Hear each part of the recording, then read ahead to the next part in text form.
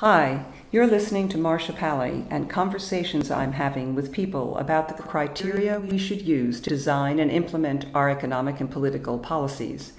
What should be our basic framework for determining public policy? These conversations are based on ideas from a book of mine, Commonwealth and Covenant Economics, Politics, and Theologies of Relationality, because we're looking specifically at relationality as this framework for policy.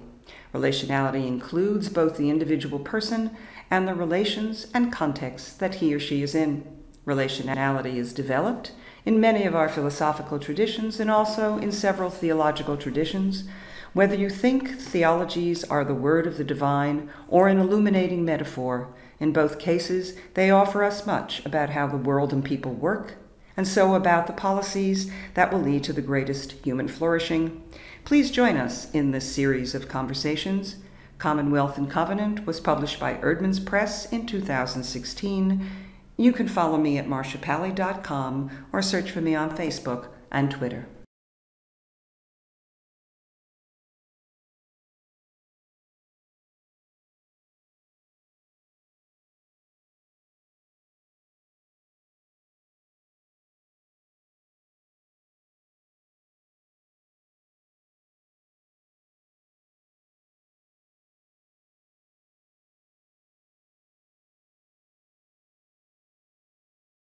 The theological discussion of these principles is between two and three thousand years old. And so we're going to start with them. Uh, it starts with a note about interpretation. When we talk about theological voice, we are talking about looking at um, faith traditions and their texts and and as soon as you have texts, you have the question of how they are being interpreted. Some people think the faith tradition texts are the Word of God. Some people think they are human but inspired by God. Some people think they have nothing to do with God, they're simply an illuminating metaphor. In all of these cases, one, we might be able to learn something from them. Two, we have to interpret them. Whether you think it's the Word of God or a human endeavor that is, enlight- that is enlightened and we have something to learn from, you still have to interpret it. And as you know, any text has multiple interpretations. Have a look at, the, at any of the sacred texts and how they have been interpreted over time in different places, this is why we have such large secondary literature about, for example, the Bible. Because people have been interpreting the Bible for 2,000 years, at least. Yeah? And you will notice the interpretations differ from time to time and place to place. So what do we do with the idea of multiplicity and interpretation? The position taken by our relational theologies is that there are things that are true about the world. It is not a relativist position, everything goes, but rather, there are true things about the world, excuse me, some of which are found in our faith traditions, and the way we get to what's true about the world is through the accumulation of our ideas about that, about it, or about, I guess, about the world multiplicity of thought, multiplicity of ideas leads to a more accurate understanding of the world.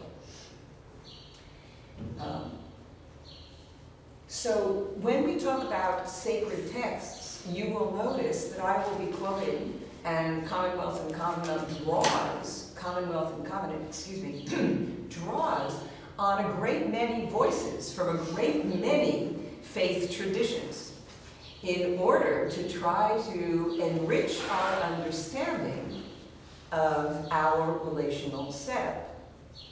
Because no one alone really gets at the whole thing.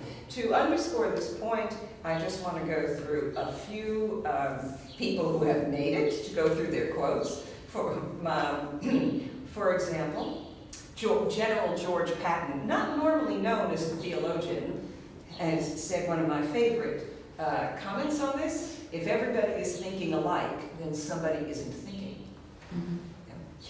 Um, multiple approaches may tell us what is correct, but it also helps us identify ideas that are incorrect because you have multiple approaches. So you can compare and think about different interpretations.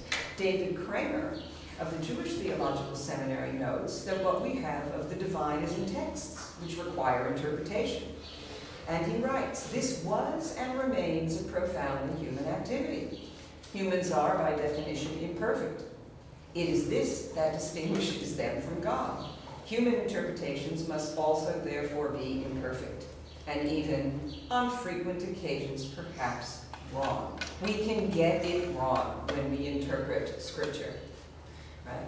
And perhaps with further study, we will correct ourselves, or perhaps by comparing with other people's study.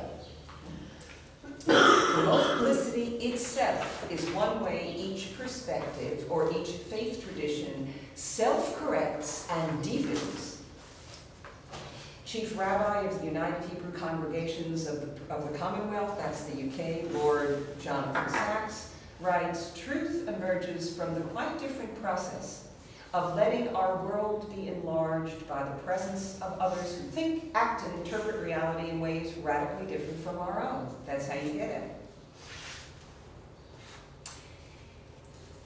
I want to also note that on the theological view, to claim that you have complete truth is not only inaccurate, it is self-divination and idolatry.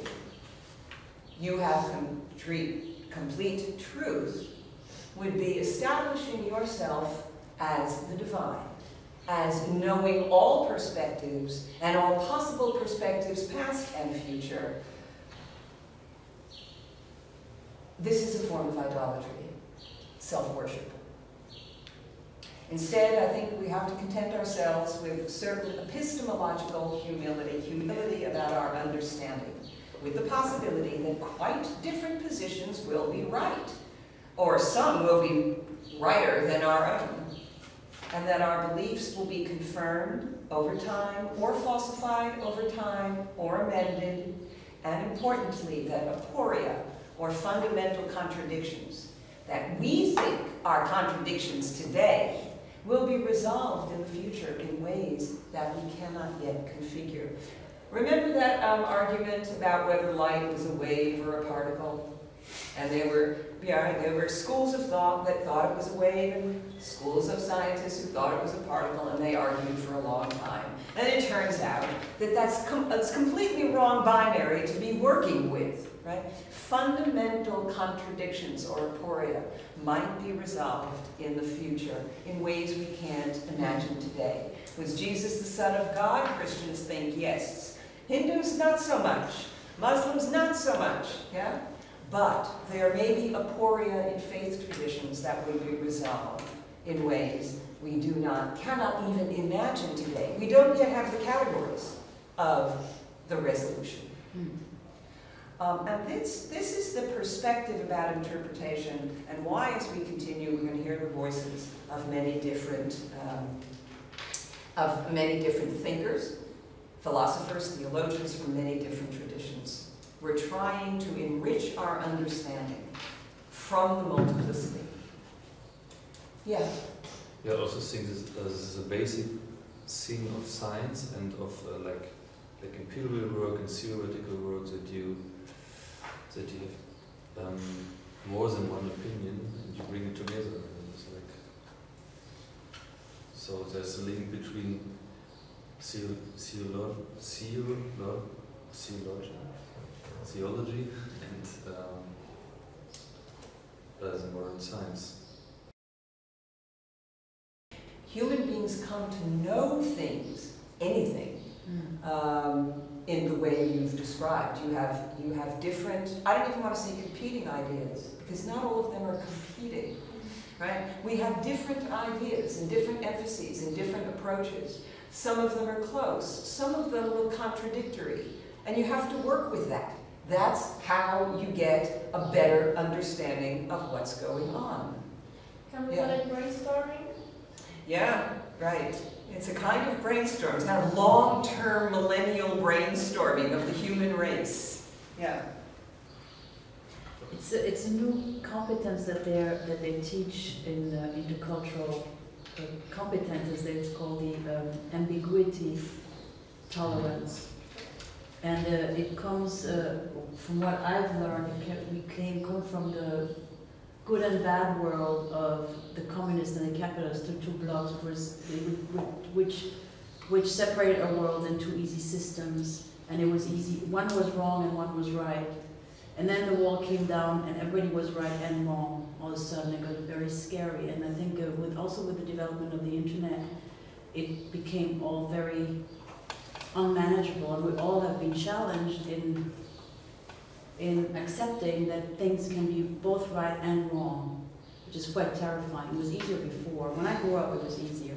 Things were right or wrong. But I mean, the communists were bad and the capitalists were good. It was really easy but it's not that easy anymore. There's a wonderful line in one of the James Bond films where Judi Dench playing M, she's, uh, it's a post-Cold War James Bond film. She's walking down the hall complaining to one of her colleagues and she says, oh, I miss the Cold War. It was so simple, right? Um, yes, but life isn't like that, right? It's, uh, yeah, yeah. But it's interesting how we very much needed that time after, I guess, after World War II, how much the world needed this, this very, maybe to reconstruct, maybe, actually for the West, I mean, maybe to, to, to develop, I don't know what. I, can I just say one more thing? I touched one more, because I, I saw this movie called The Act of Killing. I don't know if anybody has seen it. From Joshua Oppenheimer. He's an American Danish. Uh, uh, uh, uh, director. It's a documentary, and he was invited to go to Indonesia in 2003 and was um, for some from some project and realized that there had been a genocide in 1965 and that um, the people who had committed the genocide against the communists had killed one million people with a machete mostly were still in power so there'd been no working on the genocide and he decided and he, the, some of the survivors who had to live in the same village as the people who killed their parents or brothers or sisters or and there had been no working and they were still in power. And so the, some of the survivors asked him to make a documentary and he uh, he made two documentaries, one on the perpetrators and one on the survivors that were both nominated for an Oscar for the documentary and uh, he um, the first uh, movie on the um, on the perpetrator was very moving because he said he could only get to them if he considered them not as monsters, as what they were, but as human beings. He could only um, make a movie that had anything to say if he approached them as, as people. And let's have a look now some of the theology behind that, Julia. Um, and I want to start here um, with this um, with the basics. We're going to start with the basics. The basics of theology of relationality, this time in theological voice, um, so that we can understand how the theological voice uh, expresses and describes our separateness, our distinction, our uniqueness, and our situatedness in reciprocal impact. So it begins with this. Um, all beings come to be, all human beings as well as all beings, come to be by partaking of the source of being, God, in theological voice. The reason why is there anything at all, the reason that there is something larger than nothing, and the reason why there are the particular things that there are. We must partake of. Metaphorically, we must have in us, we've spoken about this before, something of the source of being God in order to exist, otherwise we wouldn't exist. Richard Taylor gets this in his story about a man who's out for a walk and comes upon a large translucent sphere in the middle of the woods. He would naturally wonder why it is there and how it got there. questions that should be asked, Richard Taylor notes, about anything at all and about everything we come upon. What is it? Why is it here? How did it get there? The answer, Ian Barbour suggests, is something like the structuring cause of unfolding possibilities, or a designer of a self-organizing process. Remember, nature is a self-organizing process, but what's the whatever that is the reason that there is the nature that we have?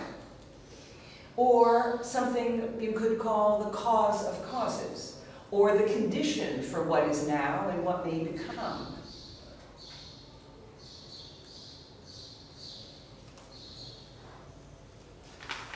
This idea of the, of the cause of causes, structuring cause, amends the emanationist theory of the third century philosopher Plotinus. Plotinus held that the universe comes forth or emanates from the one source of all being.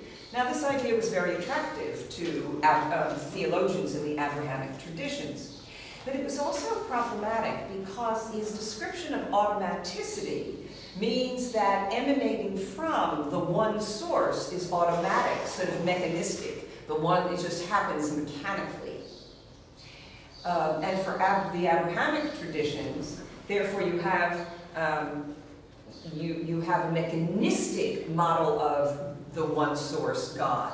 And that doesn't, that disturbed Abrahamic theologians.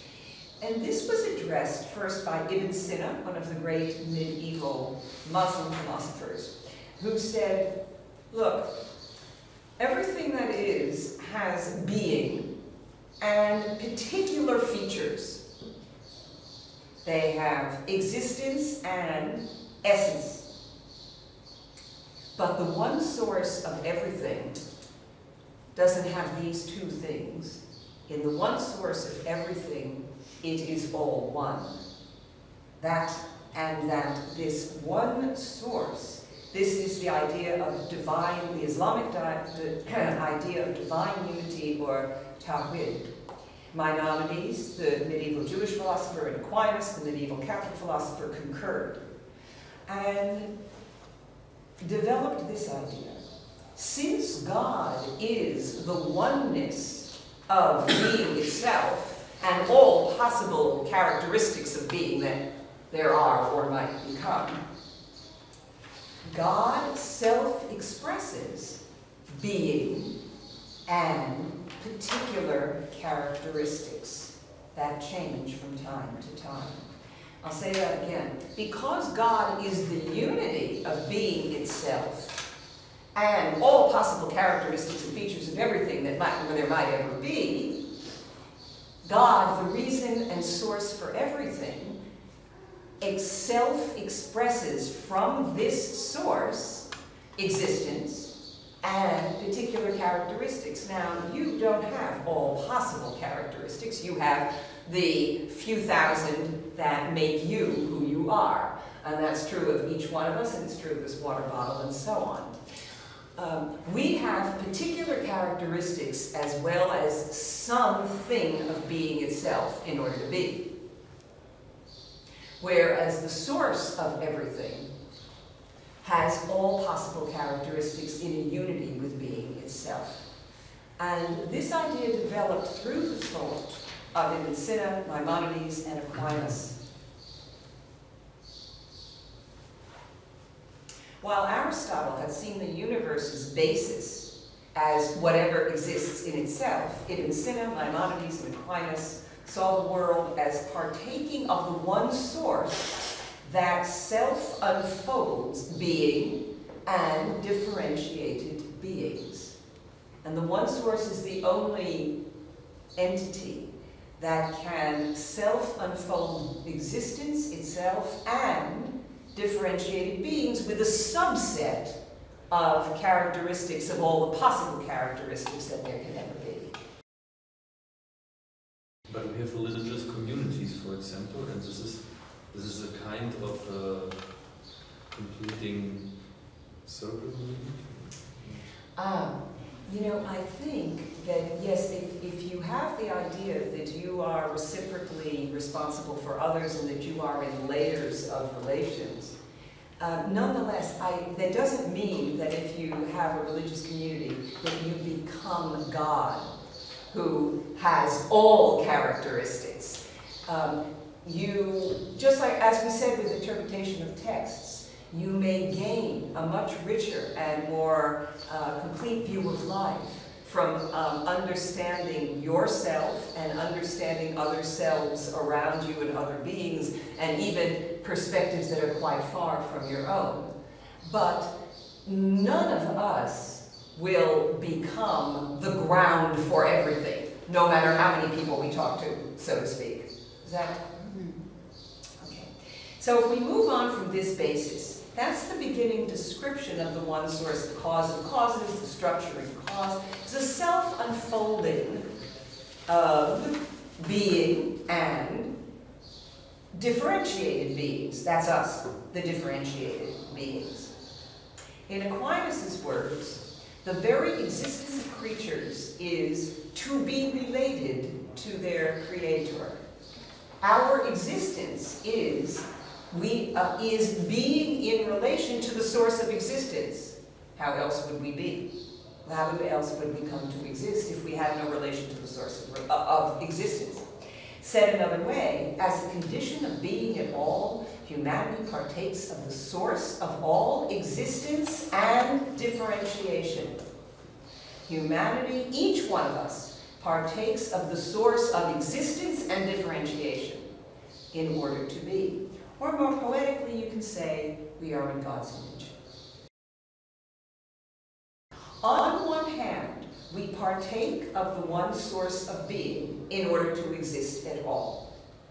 Yet this source is radically dis distinct and different from us. So we partake of it, but it is radically different. While it self-expresses, it remains radically other.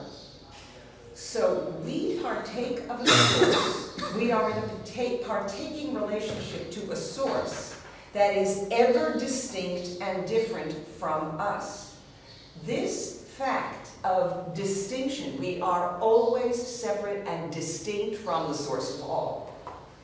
Yet, we are in a partaking relationship in the source of all. We are distinct and yet in relation. That's the way anything comes to be. That is the condition of existence. The structure of being, the structure of existing at all, is distinction and relation. To begin with, it's distinction from the source of being, and yet intimate relation to the source of being, otherwise you wouldn't be. But it turns out that it, but this is as the structure of existence, it means that all of our existences is distinction amid relation.